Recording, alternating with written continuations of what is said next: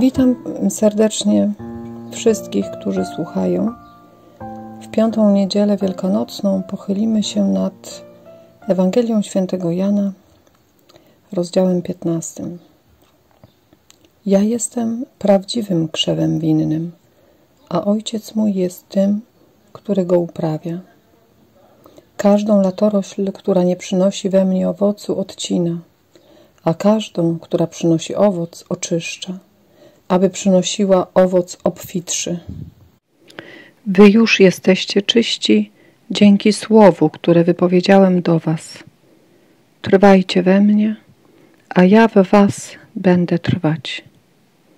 Podobnie jak latorośl nie może przynosić owocu sama z siebie, jeśli nie, będzie, nie trwa w winnym krzewie, tak samo i Wy, jeżeli we mnie trwać nie będziecie.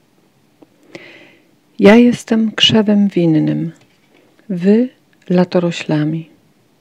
Kto trwa we mnie, a ja w nim, ten przynosi owoc obfity, ponieważ beze mnie nic nie możecie uczynić. Ten, kto nie trwa we mnie, zostanie wyrzucony jak winna latorośl i uschnie. Potem ją zbierają i wrzucają ją w ogień i płonie. Jeżeli we mnie trwać będziecie, a słowa moje we was, to proście o cokolwiek chcecie, a to wam się spełni. Ojciec mój przez to dozna chwały, że owoc obfity przyniesiecie i staniecie się moimi uczniami. W pierwszym wersie warto zauważyć, że krzew winny i prawdziwy są w języku greckim opatrzone rodzajnikiem określonym. Mamy hem ampelos, krzew winny, he aletine, ten prawdziwy. Co to jest ampelos? Warto tu przypomnieć e, z księgi Syracha fragment z 24 rozdziału. Jak szczep winny wypuściłam pełne krasy latorośle, a kwiat mój wyda owoc sławy i bogactwa. To mówi mądrość. Natomiast w Ewangelii Świętego Jana ten obraz krzewu winnego to obraz Chrystusa i Jego uczniów, czyli obraz Kościoła, obraz ciała Kościoła, zależności, relacji, które w nim są. Kolejna ciekawa rzecz, która jest w tym wersie. Y, w języku greckim mamy napisane Kai ho pater mu ho georgos estin. I to y, trochę różni się od tekstu polskiego, bo w tekst polski mówi, że ojciec mój jest tym, który go uprawia. Natomiast w tekst grecki mówi, że ojciec mój jest rolnikiem. Georgos mm, to jest właśnie ktoś, kto zajmuje się y, rolnictwem, kto zajmuje się sadem, ogrodem, jest ogrodnikiem. Może być też po prostu dzierżawcą ziemi i w tym znaczeniu y, używa właśnie tego słowa Łukasz. Zaczął mówić do ludu tę przypowieść. Pewien człowiek założył winnicę i oddał ją w dzierżawę rolnikom. Georgoj i wyjechał na dłuższy czas. Natomiast w Ewangelii świętego Jana tym e, Georgos jest sam Ojciec, Bóg Ojciec. To przepiękne jakby w swoim znaczeniu, ponieważ przypomina mi się z Księgi Rodzaju ten obraz ogrodu, w którym Bóg umieszcza człowieka i okazuje się, że Bóg na swoje własne podobieństwo czyni człowieka ogrodnikiem tego ogrodu, kimś, kto się ma troszczyć o ten ogród.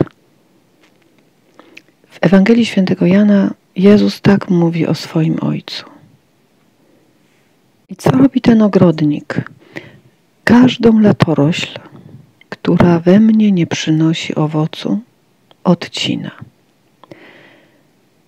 tutaj to słowo klema, latorośl, ono jest y, kilka razy, wiele razy zresztą używane w Ewangelii Świętego Jana.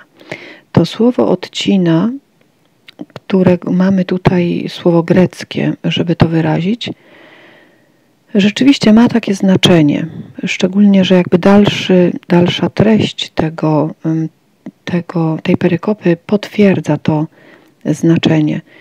Ale samo słowo airo oznacza przede wszystkim podnosić, unosić.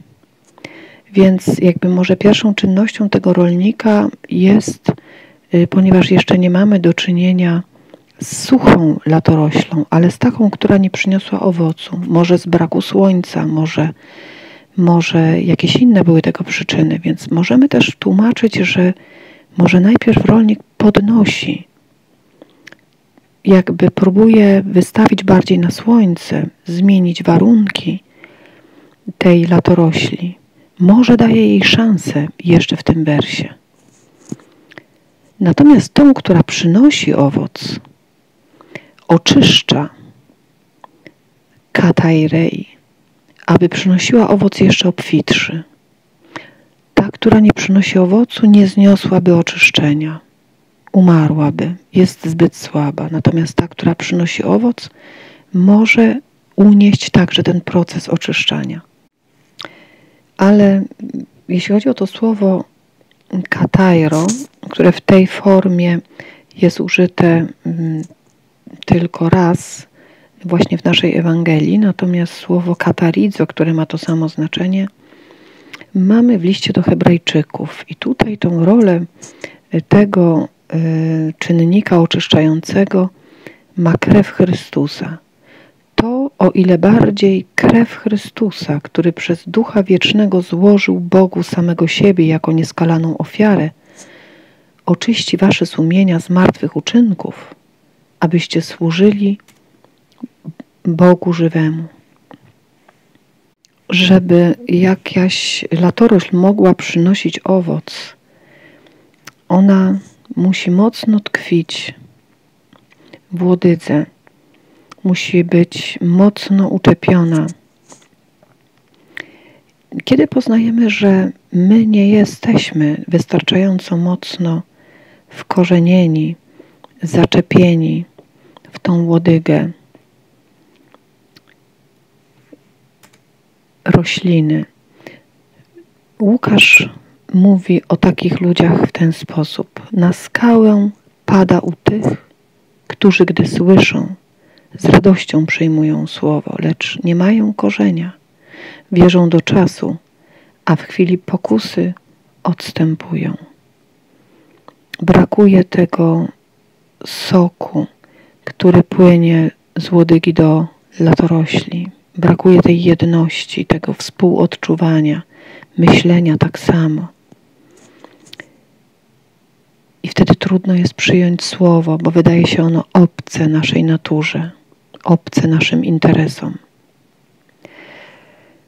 Dalej Ewangelia Jana mówi, język y, polski brzmi: Wy już jesteście czyści dzięki słów, słowu, które wypowiedziałem do Was.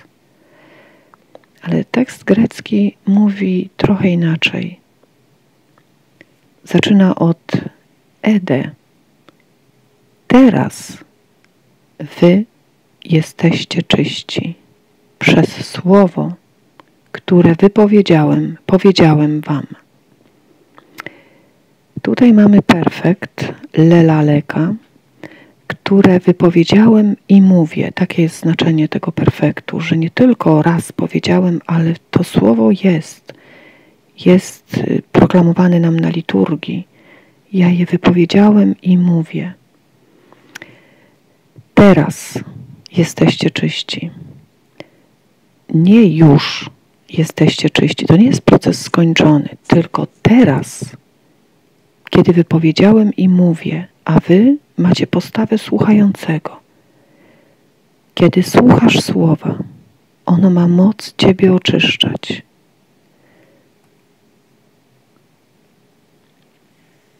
I dlatego Jezus powie do Piotra, wykąpany potrzebuje tylko nogi sobie umyć, bo cały jest czysty. I wy jesteście czyści, ale nie wszyscy. A Efezjan mówi o procesie uświęcenia.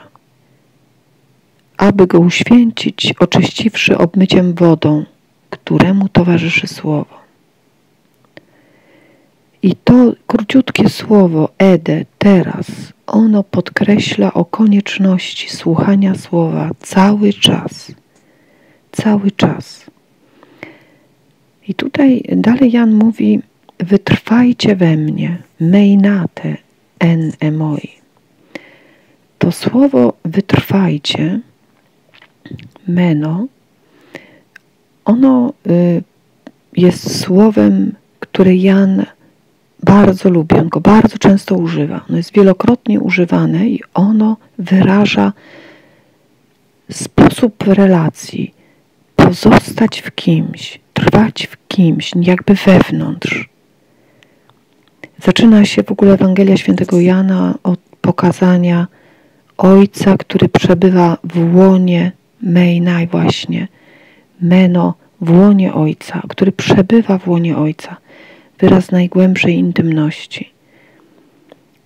I do tego cała Ewangelia Jana nas zaprasza, bo to słowo jest bardzo często używane, więc za pomocą tego słowa Jan mówi o relacji między Bogiem a Jezusem, pomiędzy Jezusem a nami, pomiędzy nami a Jezusem, pomiędzy Bogiem a chrześcijanami.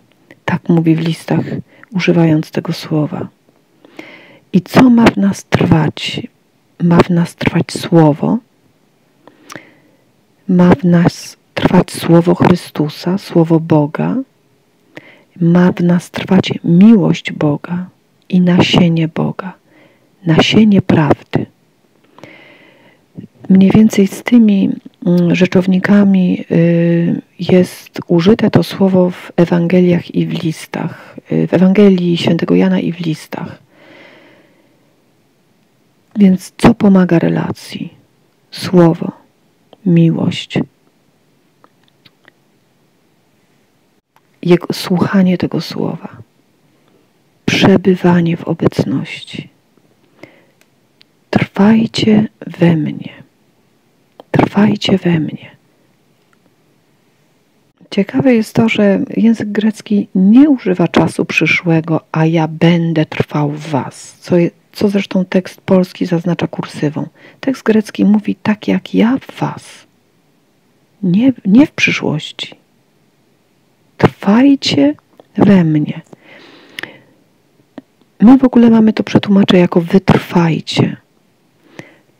Też jest takie znaczenie tego słowa, ale przede wszystkim chodzi o przebywanie, o trwanie, o trwanie długo o trwanie cały czas i w tym sensie wytrwanie. Ale to przede wszystkim chodzi o bycie z kimś. To jest przede wszystkim zaproszenie do głębokiej relacji, która ma być wytrwała. Najkrócej mówiąc, ta jakość relacji wyraża się tymi dwoma słowami z pieśni nad pieśniami. Kim jest ta, co się wyłania z pustyni, wsparta na oblubieńcu swoim. Iść przez życie wsparci na oblubieńcu. I drugie słowo z Łukasza. W końcu ziarno w żyznej ziemi oznacza tych, którzy wysłuchawszy słowa sercem szlachetnym i dobrym, zatrzymują je i wydają owoc przez swą wytrwałość.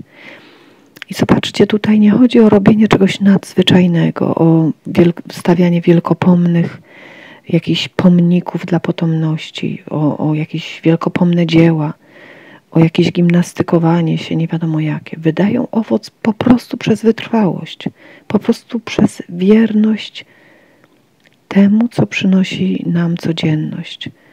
Opieka nad dziećmi, troska o dom, o męża, o te sprawy, które nam powierzają tam, gdzie pracujemy, o osoby, które są nam powierzone.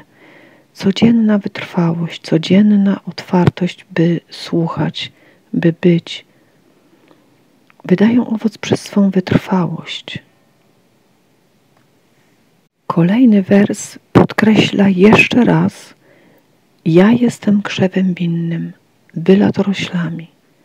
Tu jest, Jan pokazuje nam, jak widzi to ciało Kościoła, to ciało Chrystusa, jak ono jest ze sobą związane, jak, jakie to jest nierozerwalna więź. Kto trwa we mnie, tutaj jest jeszcze głębiej to powiedziane, bo jest wyrażone po grecku imię słowem, homenon, trwający we mnie. I ja w nim przynosi owoc obfity, ponieważ beze mnie niczego nie możecie uczynić. I tutaj to słowo nie możecie dynaste od dynamaj, ono oznacza, że nie ma w was mocy, która pochodzi od Boga. Nie ma mocy, czyli nie ma żadnej mocy. Beze mnie to słowo choris, króciutkie, oznacza oddzielnie. Gdy będziemy oddzieleni, odcięci od siebie, przy jakby nieobecności. I my, znowu wracając do ogrodu Eden, tam naprawdę dowiedliśmy, co potrafimy zdziałać na własną rękę. Tam pod tym drzewem, bez Boga, bez wsłuchania się w Jego słowo bez szema. Sami. I to, to jest to zaproszenie, żeby trwać w Nim, żeby pozwolić, tak jak On trwał w Ojcu, bo chwilę później święty Jan powie, Jezus mówiąc o sobie powie, tak jak Ojciec jest we mnie i dokonuje tych dzieł. Po co Chrystus ma trwać w nas, my w Nim? Żeby dzieła Boże mogły być w nas dokonane tak jak w nim Bóg dokonał swego dzieła, bo trwał w nim, bo trwał w Ojcu. W liście do Rzymian Paweł mówi: Podobnie wszyscy razem tworzymy jedno ciało w Chrystusie, a każdy z osobna jesteśmy nawzajem dla siebie członkami. To jest inna, inny obraz mający to samo znaczenie. Tu cały czas jest mowa o ciele Chrystusa, o Kościele o tej żywej tkance. I dalej w liście do Koryntian. Kielich błogosławieństwa, który błogosławimy, czy nie jest udziałem we krwi Chrystusa? Chleb, który łamiemy, czy nie jest udziałem w ciele Chrystusa? Więc widzicie, to, to ciało, które jest odżywiane jednym chlebem, jedną krwią. Sok jednej krwi płynie w naszym, w tym ciele. I podobnie też jak jedno ciało składa się z wielu członków, a wszystkie członki ciała, mimo iż są liczne, stanowią jedno ciało, tak też jest i z Chrystusem.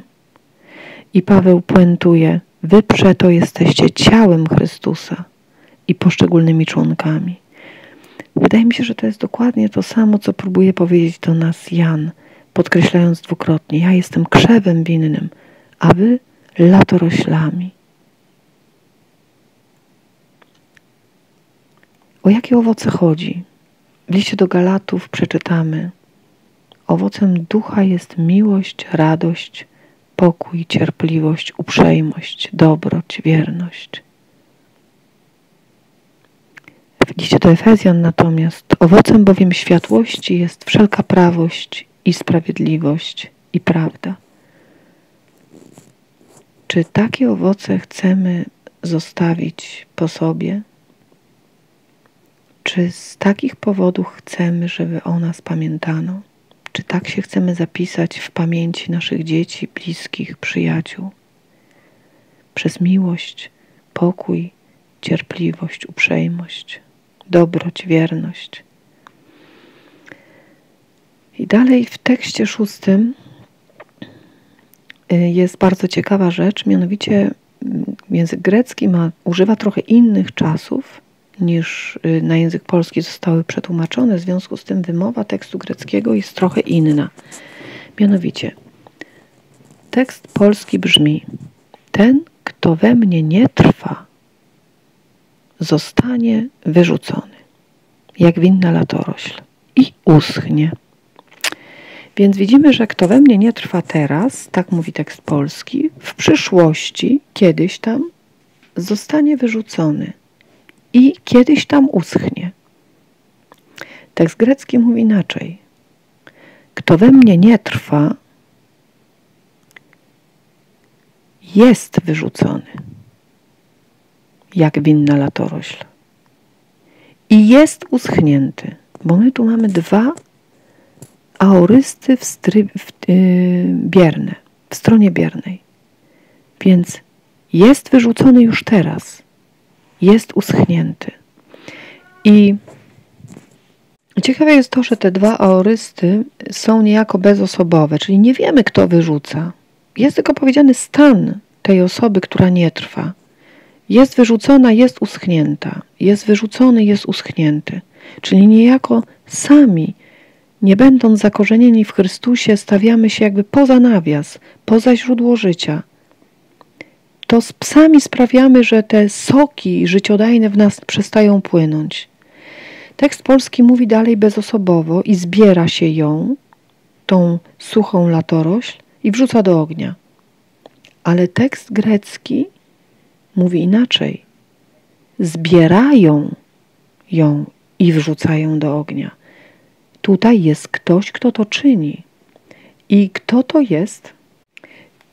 Mateusz, Ewangelia Mateusza mówi: Syn człowieczy pośle aniołów swoich. Ci zbiorą z jego królestwa wszystkie zgorszenia i tych, którzy dopuszczają się nieprawości. Tymczasem ciekawe jest to, co jest napisane w liście Judy. Ci właśnie na waszych agapach są zakałami, bez obawy oddają się rozpuście, samych siebie pasą, obłoki bez wody wiatrami unoszone, drzewa jesienne nie mające owocu, dwa razy uschłe, wykorzenione. Więc widzimy, że w liście do Judy jest mowa o jakichś ludziach, którzy są we wspólnotach i tak żyją. Nie, nie są wyrzuceni, nie, nie są zabici, odsunięci. Są we wspólnotach, są pozostawieni. Jest im dawana szansa. Jest im dawana szansa. To prawda, są uschnięci. To prawda, że nie ma w nich życia że sami siebie wyrzucili poza nawias, ale są we wspólnotach i jest szansa ciągle dla nich, że otoczeni miłością braci odżyją, uwierzą miłości, zaufają jej, doświadczą tego dotknięcia życia, doświadczą tej przemiany, którą niesie ze sobą miłość. Natomiast do tych, którzy trwają w nim, jeżeli trwacie we mnie i słowo moje w was trwa, to wówczas proście cokolwiek chcecie, a to się wam spełni. I tutaj mamy czas przyszły, to się spełni w przyszłości jest to zapewnienie. Pytanie, czy my mamy cierpliwość czekać i wierzyć, że naprawdę się to spełni. W ostatnim wersie, który brzmi w języku polskim: Ojciec mój przez to dozna chwały, więc dozna tej chwały w przyszłości, że owoc obfity przyniesiecie i staniecie się moimi uczniami. Tymczasem tekst grecki mówi znowu tym aorystem biernym, czyli ojciec mój w tym doznał chwały, to znaczy jest uwielbiony, jest uwielbiony, jest otoczony chwałą. Tak należy to tłumaczyć, ten aoryst. On właśnie w tym doznaje chwały, że wy ten owoc Dalej tekst mówi, że owoc obfity przyniesiecie. Włosi przetłumaczyli kewoj portiate e diventiate. I to jest lepsze tłumaczenie, ponieważ przetłumaczyli ten subjunktyw jakby, czyli taki życzeniowy sposób mówienia, czyli jakby życzeniem Jezusa jest, żebyśmy owoc przynosili i abyśmy się stali Jego uczniami, abyśmy owoc przynosili i, i stali się Jego uczniami. Y, odnosi się to do przyszłości, do całego naszego życia, do tego, co Jezus chce czynić przez nas, o ile będziemy w Nim trwali. Staniemy się uczniami. Uczeń to jest ten, który patrzy na swojego mistrza, chce żyć tak jak on, chce wejść w jego ślady, chce przeżyć to, co on. I to, to, jest, to jest właśnie też to pytanie, które stawia nam ta Ewangelia. Czy my naprawdę mamy to pragnienie bycia uczniami? Czy właśnie może niedobór tego pragnienia blokuje nas przed słuchaniem Jego słowa otwartym sercem, przed trwaniem w Nim i zamiast ufności, którą On miał w relacji do Ojca i która była fundamentem tego pokoju, y, z jakim wchodził w te wszystkie doświadczenia, które zostały mu przez życie przygotowane. Przez życie, przez nasze grzechy przygotowane. To my często doświadczamy lęku. Jak zaufam Bogu, to kto wie, co mi się przydarzy? Wielu z nas tak myśli. Przecież u Jezusa tak nie było, a Jan bardzo mocno pokazuje tą zależność, że z wami będzie tak jak ze mną, że chciałbym, żebyście doświadczyli tego, czego ja doświadczyłem w relacji do Ojca. Jak Ojciec trwa we mnie, tak ja trwam w was. Jak Ojciec czyni przeze mnie, tak ja chcę czynić przez was. Przecież mamy pewność, że, że to wszystko prowadzi do zmartwychwstania, do uwielbienia, to trwanie, słuchanie słowa i wchodzenie z otwartym sercem w tą rzeczywistość jest uwielbieniem Ojca. Bracia, sobie i Wam mówię odwagi. Zaufajmy temu słowu i dajmy się poprowadzić. Dobrej niedzieli.